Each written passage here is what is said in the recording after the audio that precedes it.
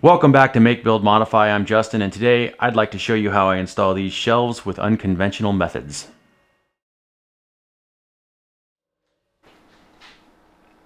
I typically start by installing a shelf level. In this case I have some plywood on the walls and there's uh, a wood seam that I'm using as a guide.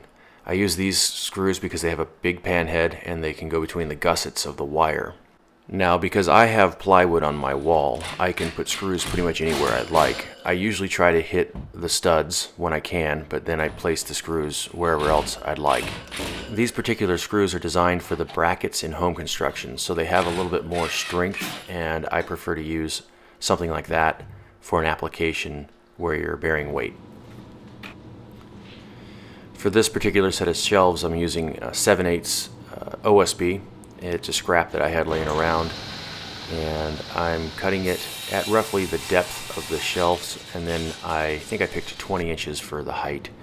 Uh, you can pick any arbitrary height between the two shelves you'd like and, and adjust to suit your needs.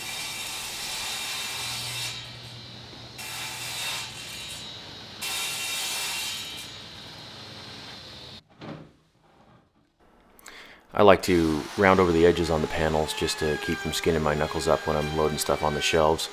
This is a completely personal preference. You can you can do it with just square panels or do whatever else you'd like. The next step is pretty straightforward. I'm just using the panel to mark the top where the next shelf is going to be.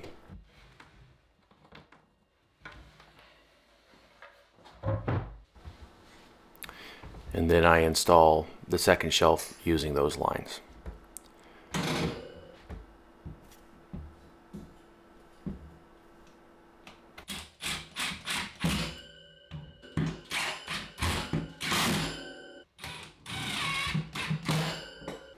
Okay, now that the two shelves are installed, it's time to put the end panel on. I usually use clamps to align the bottom of the panel with the bottom of the lower shelf and then I use uh, clamps for the upper shelf also after I get that pushed back against the wall. I'm using the same screws for the install against the panel. I usually use a shorter screw though so it doesn't come out the side of the panel. The interesting thing about this install is that the panels don't need to be fastened to the wall at all. They do their job just by being fastened to the metal shelves themselves. This next connection allows you to have kind of an inside corner without anything obstructing the shelf space. You just bolt the two panels together with I think a 3 8 bolt. I've had pretty good luck with this method.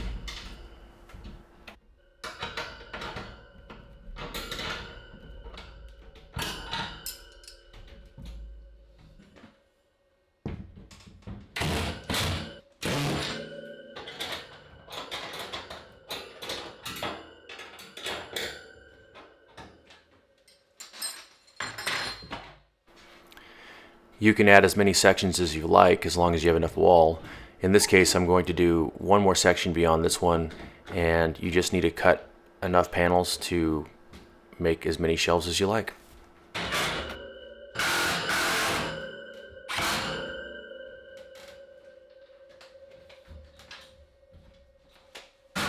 What I really like about this system is how modular it is. You can put these up fairly quickly. I think it took me about an hour to put this set up and they can come down and be reused in another configuration because this install really doesn't damage any of the materials. Here's a trick I use for storing my pneumatic tools.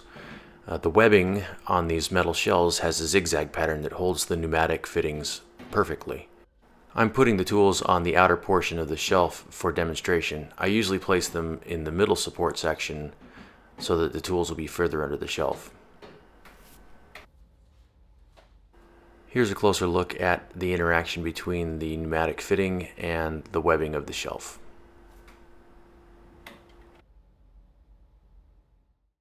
I have the tools and materials listed in the description for this build, and if you think I've earned it, please subscribe.